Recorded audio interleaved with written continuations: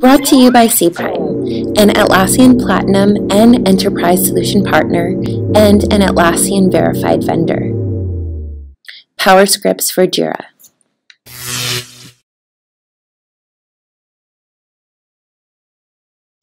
To make a single line comment, use a double slash.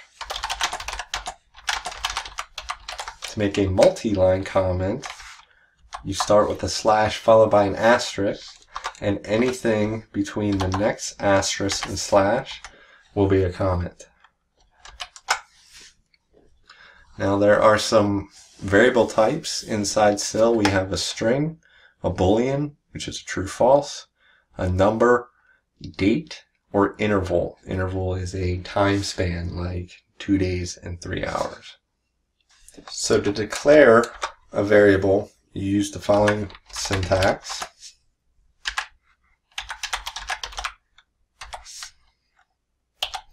And every line must be ended with a semicolon. I can also give this variable a value.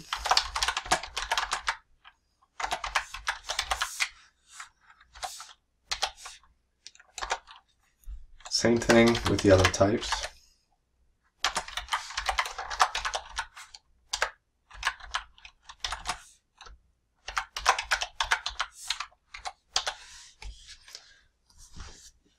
Check my code. So that's basically how you declare a variable. So those are the types, but there is another type of object inside SIL, um, which is an array. An array is just a collection of variables. So a single array could contain five or ten or a hundred string variables or a boolean variable or any of the other types you see listed. You can also create multi-dimensional arrays. Uh, what that would be is each value in the array is itself made up of an array. So there's a hierarchy to it. To declare an array, you add the brackets after the type in declaring the array. So almost the same syntax as this regular string variable up here, but with the brackets. Now, to add values to an array, I can add those values when declaring it. So if this was an array of fruit, I would just put the list inside these curly brackets, separated by comma.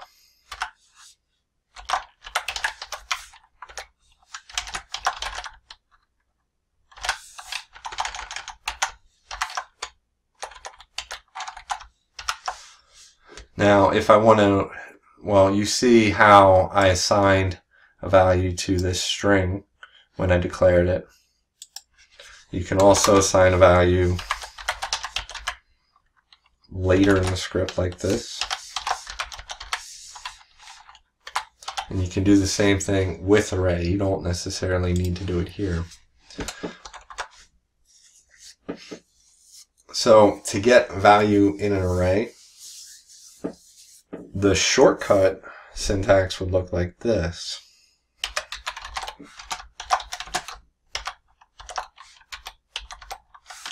So what I'm saying is I don't want to replace all the values inside the fruit array. I just want to add it to the existing values. And that's what the plus equals shortcut does. We'll go over arrays in more detail later. The next syntax I'm just going to briefly touch upon would be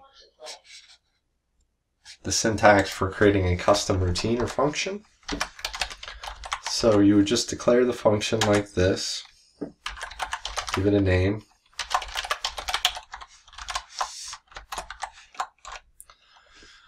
and close it in curly brackets. You would define parameters here.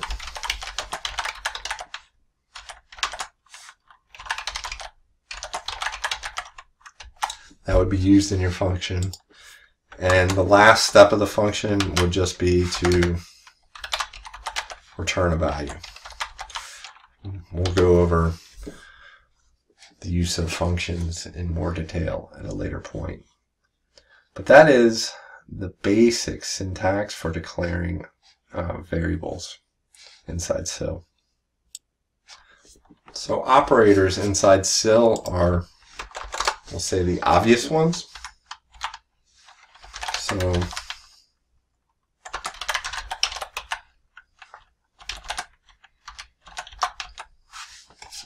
plus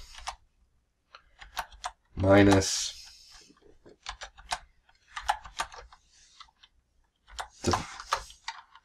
multiplies divides all operate as you would expect. To concatenate strings, you can actually use the plus sign. So if I have string left equals hello,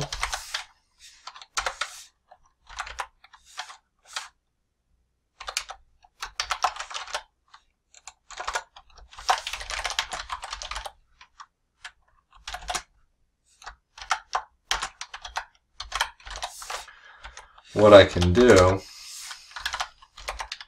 is say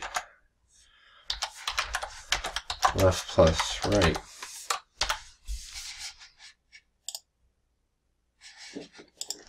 So this is what an arrow looks like. I think it's capital S, yep. So now if I were to go and run it, we have hello world. So that the plus operator concatenates the text. When writing comparisons, such as those in if then else statements,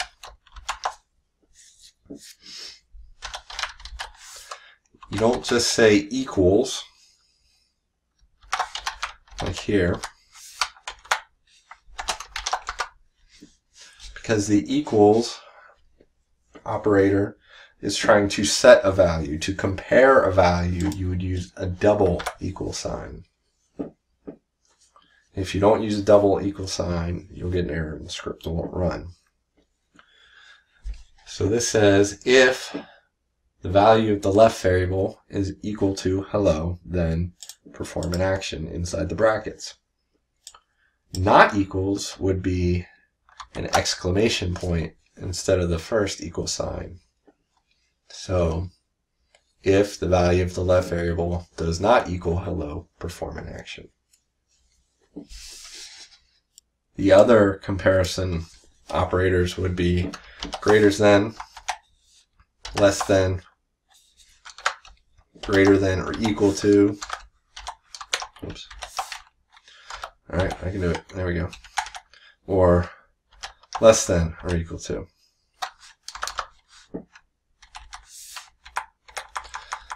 Then you have some logical operators. For example, if I want to say if left is equal to hello and right is equal to world, you would use this double ampersand for and.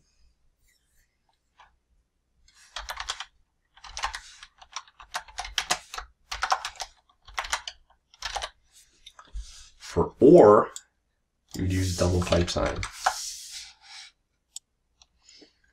So we've already started using the syntax for the if then else statement. So let's see what the rest of it is.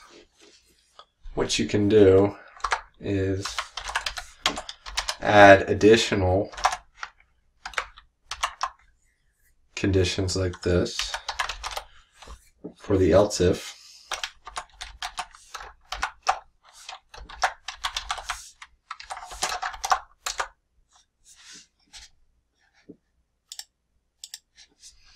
and then end it with an else. And you don't need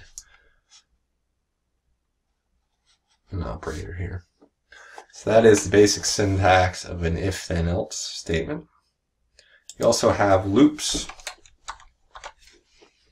So to loop from 1 to 100, I could say 4, and I need to declare my variable. So I'm starting at zero. I'm going to continue my loop until x is equal to 100. And for each loop, I'm going to increment 1. And then I could say 1 log.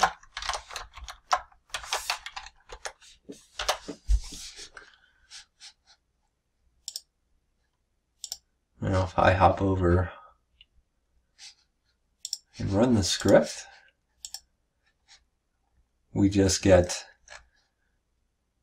from 0 to 100. So that's our loop. Another way to do a loop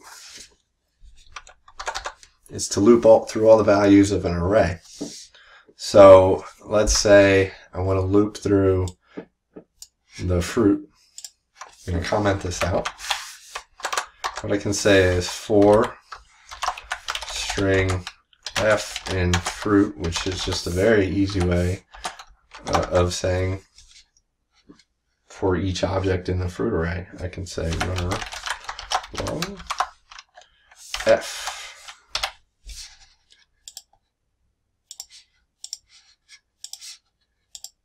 And there, we've looped through everything in the fruit array. Then you have your while statements. So that would be something like while uh, left is not equal. Hello?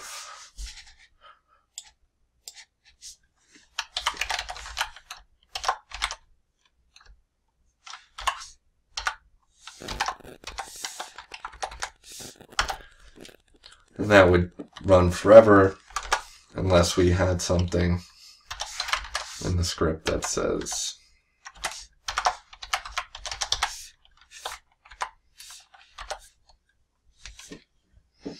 So this is a loop that just keeps going until a specific condition is met.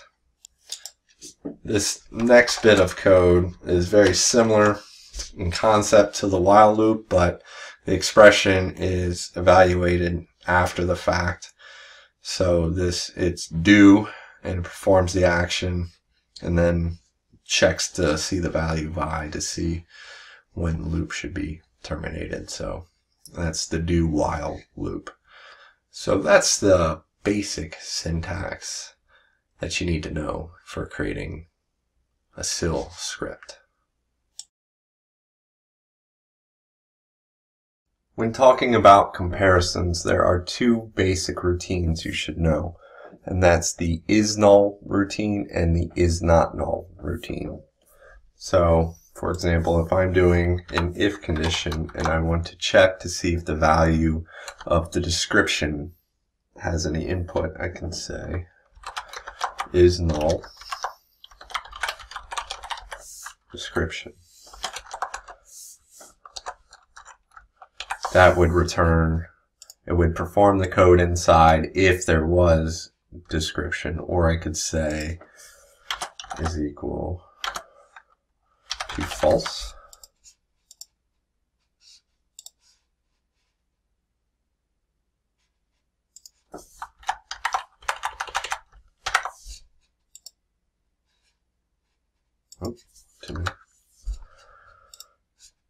Or you could just say is not null.